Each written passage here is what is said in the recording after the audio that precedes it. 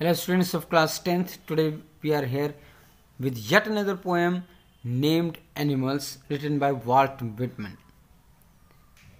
In this poem, the poet finds differences between him and the human beings and the animals.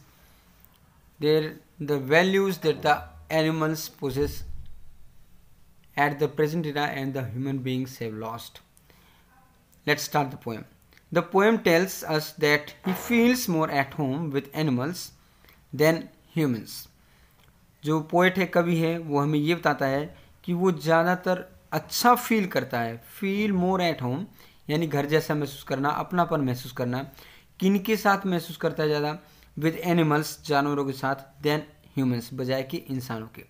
Whom he finds complicated and false इंसानों को वो ज़्यादा जटिल, ज़्यादा कठोर ज़्यादा फॉल्स झूठा मानता है। बजाय कि जानवरों से।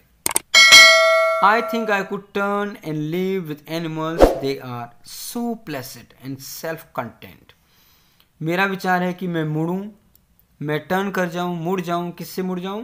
ह्यूमन बींग से, इंसानों की तरफ़ से मुड़ जाऊँ और मुड़ करके किधर बढ़ूं? किस किस तरफ़ जाऊँ? जानवरों की तरफ़। एंड लिव विद एनिमल्स और जानवरों के साथ रहूँ। दे आर सो प्लेसिड वे कितने स्थिर, कितने शांत, कितने सेल्फ कंटेंट यानी अपने आप में सीमित हैं। I stand and look at them long and long मैं खड़ा होता हूँ और काफ़ी देर तक उन्हें देखता और देखता रहता हूँ। Now in the next stanza they do not sweat and whine about their condition वे अपनी स्थिति के ऊपर पसीना नहीं बना, बहाते और ना ही वो अपनी स्थिति के ऊपर रोना रोते, पछतावा करते।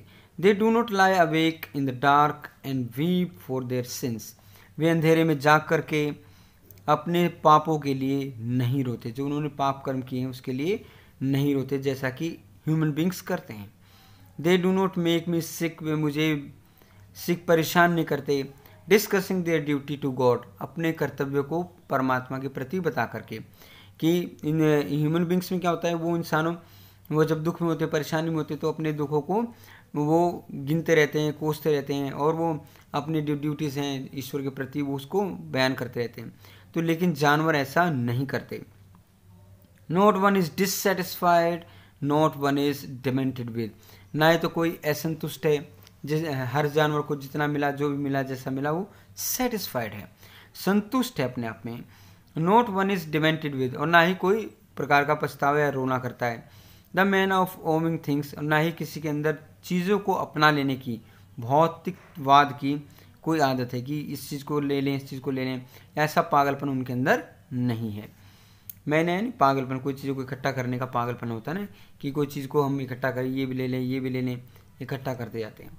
जैसे मनुष्य की प्रवृत्ति, ऐसा जानवरों में नहीं है। Not one kneels to another nor to his kind that ना ही तो कोई किसी के सामने झुकता है और ना ही अपने प्रकार के जीवों के सामने।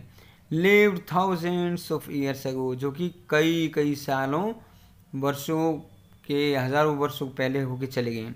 जैसे हम ह्यूमन बींग्स में देखते हैं, जो हमारे पूर्वज हैं, उनके सामने हम झुकते हैं, उनकी पूजा करते हैं तो इस प्रकार से जानवर ऐसा नहीं करते। Not one is respectable or unhappy over the whole earth ना ही तो कोई इतना सम्मानित है और ना ही कोई इस पूरे संसार के ऊपर इतना ना खुश है। यानी सारे जानवर खुश रहते हैं, अपने जीवन को वो संतुष्टता से जीते हैं। So they show their relations to me तो वे अपना संबंध मुझसे अपना संबंध शो करते हैं एंड आई एक्सेप्ट देम और मैं उन्हें स्वीकार करता हूँ। यानी जिस प्रकार से इंसान वो पिछले जन्मों में था, पिछले समय में था, यानी पास्ट लाइफ में था। पास्ट टू फास्ट अगर एंशेंट लाइफ देखें या शुरुआती दौर का जो जीवन देखें, इंसान, इंसानों को आपस में मिलजुल के रहते थे, आपसे अंदर जो उनकी वैल्यूज़ थी, वो रहती थी। अब वो वैल्यूज़ इंसानों ने खो दी है मॉरल वैल्यूज़ खो दी हैं। लेकिन जानवरों ने अभी भी उस वैल्यू को संभाल के रखा है। तो यानी वो जो रिलेशन था, जो मेरा हमने अब खो दिया ह्यूमन बींग्स ने, लेकिन जानवरों के पास था तो वो रिलेशन मुझे शो करते हैं, वो जानवर अपने से वो शो करते हैं। यानी वैल्यूज़ वाली वो चीज़ें उनके पास अभी भी है। They bring me tokens too of my life myself वे मेरे पास वो टोकन्स लेके आते हैं, मेरा अपना टोकन दे एविंस जो उन्होंने संभाल के रखे जो उनके पास एक निधि है, जो उन्होंने, जो दर्शाते हैं, दिखाते हैं। Them plainly in their possession क्या? वो पोजेशन होता है, कोई चीज़ अब हमारे पास जिसका हम मालिक पना है या जो चीज़ हम, हमारी अपनी है, वो उन्होंने बड़े स्पष्ट तरीके से अपने पास रखी हुई वो टोकन्स मुझे दिखाते हैं। कौन से टोकन वो सारे वैल्यूज़ के टोकन्स वो सारी धारणाओं के टोकन्स जो उन्होंने अपने पास रखे हुए और ह्यूमन बींग्स ने खो दिए हैं वो सारे टोकन्स वो सारी वैल्यूज़ जो वो सारे पॉजिटिविटी थी, वो सब खो दी है ह्यूमन बींग्स ने, लेकिन जानवरों ने अभी संभाल के रखी है। आई वंडर मुझे आश्चर्य होता है where they get those tokens कि उन्हें वो टोकन्स वो निशानियाँ कहाँ से मिली? वो प्रतीक, वो चिन्ह, वो टोकन्स कहाँ से मिले? कौन से टोकन्स वो सारे वैल्यूज़ के।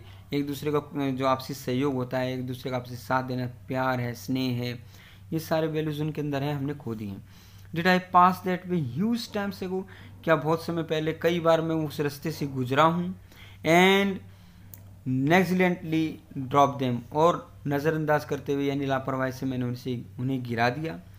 क्या उन वैल्यूज़ को हमने गिरा दिया है? लापरवाही से, और जानवरों ने उन्हें अभी भी संभाल के रखा हुआ है। तो ये कभी अपने आप से इस प्रश्न को पूछता है। तो this was the poem that was written by Walt Whitman इसके इंपॉर्टेंट पॉइंट्स में डिस्कस करेंगे students have great time ahead bye